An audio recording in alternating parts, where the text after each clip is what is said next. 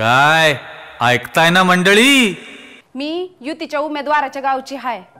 कुंपणानं शेत खाल्लं तर दाद मागायला जायचं कुणाकडं? ज्या माणसाला पाच पन्नास वर्ष आम्ही मत देत राहिलो त्यानं काहीच केलं नाही हो आमच्यासाठी. आणि प्रत्येक वेळी निवडणूक जवळ आली की मोठी मोठी आश्वासन देत राहिला हो माणूस. अहो जो व्यक्ती स्वतःच्या गावचा विकास करू शकत नाही तर तुमच्या मतदारसंघाचा काय विकास करणार आहे? आमच्या गावात एक रोड धड नाही का बस स्टँड नाही? जिल्हा परिषदेच्या शाळेचं काम बी केलेलं नाही. बोला आता. बरं ते एक जाऊ द्या हो. बारा महिने पाण्यासाठी रडावं लागतंय आम्हाला. मग कशाला निवडून दिलं होतं आमच्या गावच्या लोकांनी यांना? यांनी आमची तर वाट लावली आतापर्यंत पण तुम्ही विचार करा. यो उमेदवार आता माजलगाव मतदारसंघातनं निवडणूक लढतूया. आम्ही फसलो. तुम्ही सुधरा. आणि तुमचं मत तुमच्या हक्काच्या आणि जवळच्या माणसाला म्हणजेच प्रकाशदादा सोळंके यांनाच द्या. नाहीतर तुमच्या बी मतदारसंघाची हालत आमच्या गावासारखी होती बघा.